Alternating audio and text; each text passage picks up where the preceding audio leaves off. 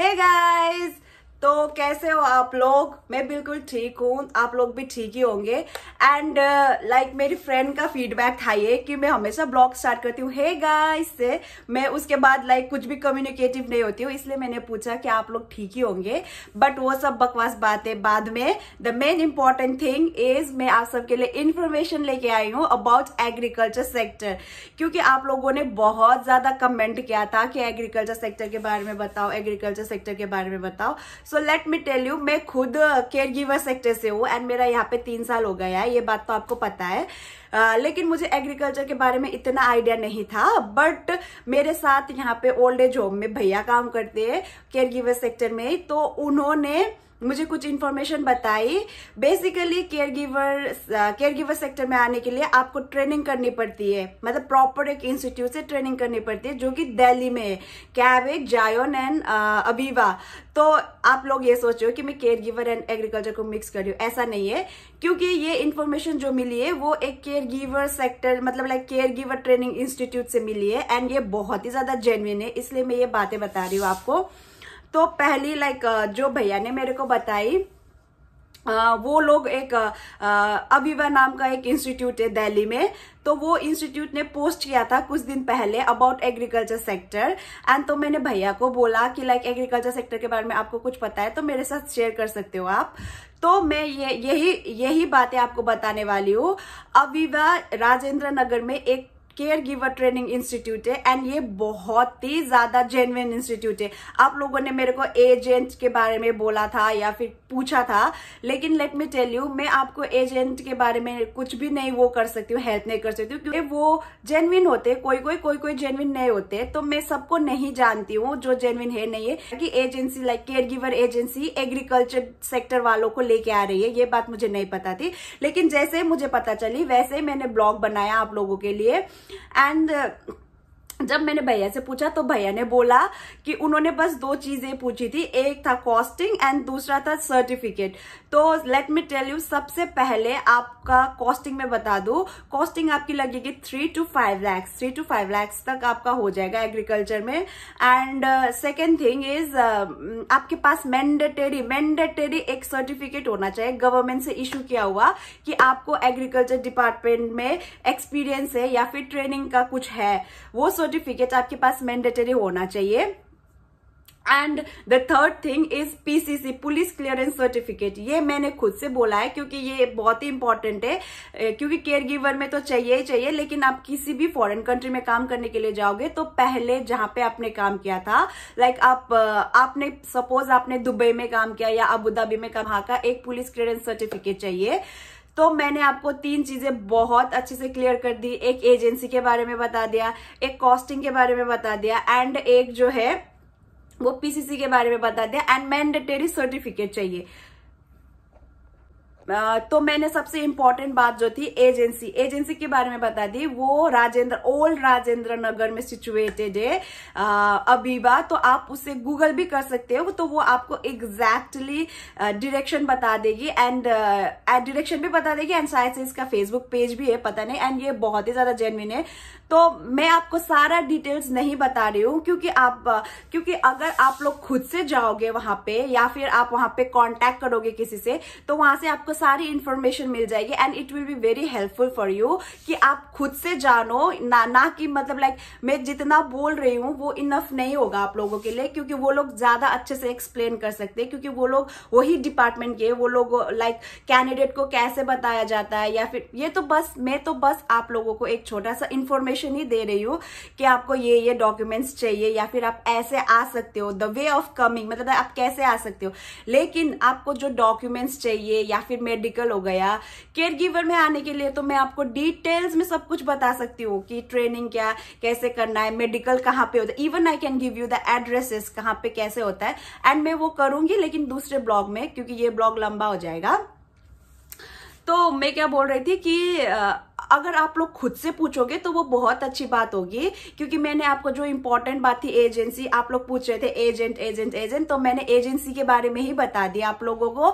तो एजेंसी के थ्रू करोगे एजेंसी के थ्रू पूछोगे तो आप लोगों के बहुत, आप लोगों को बहुत हेल्पफुल होगी वो बातें, क्योंकि वो लोग अच्छे से एक्सप्लेन कर सकते हैं। लाइक मैं तो जितना बोल रही हूँ, वो भी लाइक आप लोगों को समझ में आ रही होगी, लेकिन वो लोग जो है, वो लोग एक्सप्लेन करेंगे अच्छे से कि आपको ये डॉक्यूमेंट्स चाहिए इतना टाइम पीरियड का वो वीज़ा प्रोसेस में लगेगा ये होगा। तो ये सब बातें आप खुद पूछो तो अच्छी अच्छी अच्छी रहेंगी। एजेंसी हो गया ठीक है? अगर आप नहीं भी जा सकते हो तो आप वहाँ से कॉन्टैक्ट नंबर निकाल सकते हो। And I am so sorry for that कि मैं कॉन्टैक्ट नंबर नहीं दे सकती हूँ क्योंकि लाइक like, ये बहुत ही अनप्रोफेशनल रहेगा कि मैं कॉन्टैक्ट नंबर शेयर कर रही हूँ उनका। तो आप मैं वेबसाइट बता रही हूँ आपको गूगल में आप सर्च कर सकते हो। एंड वहाँ पे एक मैम है तो वो मैम से भी आप पूछ सकते हो। And this is very genuine क्योंकि मेरी जो सिस्टर इन लॉ है, वो भी रिसेंटली यही एजेंसी से आई है, लेकिन केयर गिवर सेक्टर में आई है। तो इसीलिए ये एजेंसी बहुत बहुत ज़्यादा जेनविन है। एंड एंड एंड मैंने सारी इन्फॉर्मेशन बता दी आपको कॉस्टिंग बता दी मोस्ट इंपॉर्टेंटली एजेंसी के बारे में बता दिया कि आप कैसे ट्राई करोगे एंड पीसीसी बता दिया एंड पासपोर्ट भी आपके पास होना पासपोर्ट तो होना ज़रूरी है, लेकिन पासपोर्ट पे भी मैं बता दूँ कि लाइक अगर आपका एक्सपायर होने वाला है तो आप शायद से अप्लाई नहीं कर सकते हो, क्योंकि केयर गिवर में आपके पास मिनिमम टू इयर्स का होना चाहिए वैलिडिटी ऐसा कुछ है ऐसा कुछ था जब मैंने ट्राई किया था अभी तो नहीं पता लेकिन हाँ अगर आपके पास सिर्फ़ एक साल का है या फिर छह महीने हो गया एंड कॉस्टिंग हो गया एंड क्या बताया मैंने? हाँ मैंडेटरी एक सर्टिफिकेट होना चाहिए मिनिमम थ्री इयर्स का कि आपने ट्रेनिंग किया हुआ है या फिर मतलब लाइक आपका एक्सपीरियंस है कोई भी गवर्नमेंट सेक्टर में तो ये चीज़ ये चीज़ होना बहुत ज़्यादा ज़रूरी है।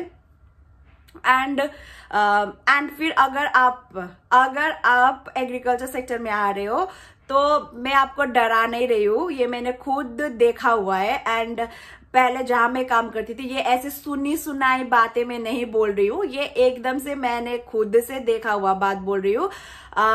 जो मैं पहले काम करती थी, मैं पहले मुशाब में काम करती थी। एंड इसराइल में मुशाब एंड ये फिर किबूज ये सब जगहों को विलेज एरिया को ये सब नाम से बुलाया जाता है। तो पहले मैं मुशाब में काम करती थी मतलब विलेज एरिया में काम करती थी। तो वहाँ पे मैंने बहुत सारे थाईलैंड थाईलैंड के लोगों को देखा एग्रीकल्चर सेक्टर में।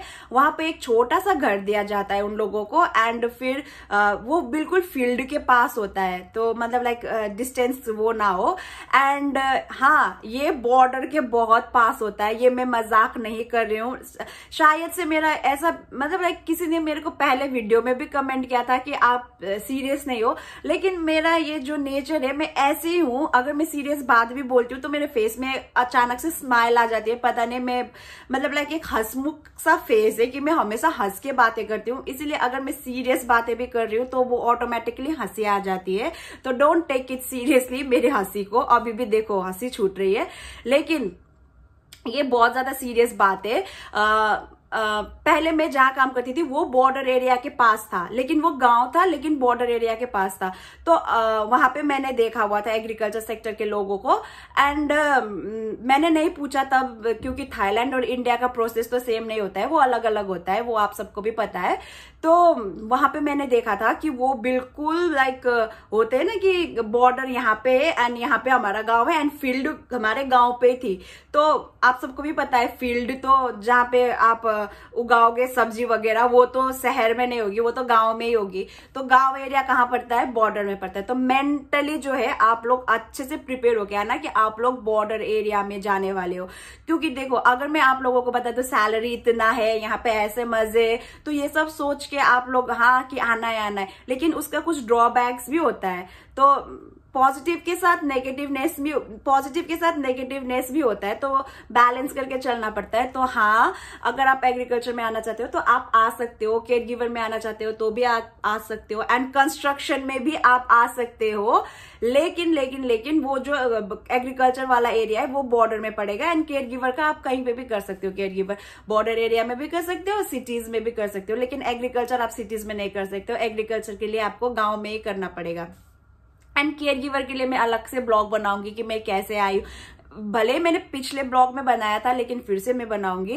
एंड आशा करती हूँ कि आप लोगों को ये जो एग्रीकल्चर वाला वीडियो था थोड़ा बहुत यूजफुल लगा। एंड मैं इतनी सारी डिटेल्स नहीं बता रही हूँ आप लोगों को एग्रीकल्चर से लेके क्योंकि आप आ, मैंने आपको एजेंसी के बारे में ही बता दिया। एजेंसी के बारे में बता दिया। तो आ, आप लोग वहाँ पे पूछो क्योंकि वहाँ पे आपको अच्छा फीडबैक मिलेगा अच्छा आंसर्स मिलेगा।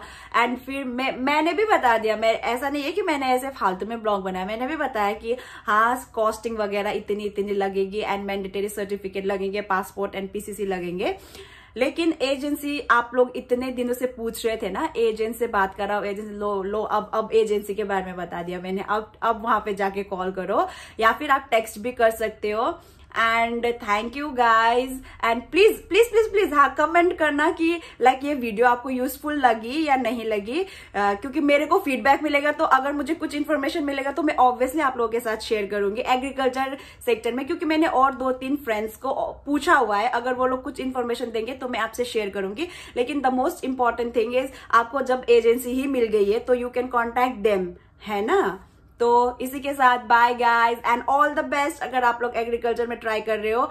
एंड केयर गिवर्स में ट्राई करने वालों के लिए मैं अलग से ब्लॉग बनाऊँगी एंड कंस्ट्रक्शन के बारे में भी मैं पूछ के आपको बताऊँगी. And see you guys bye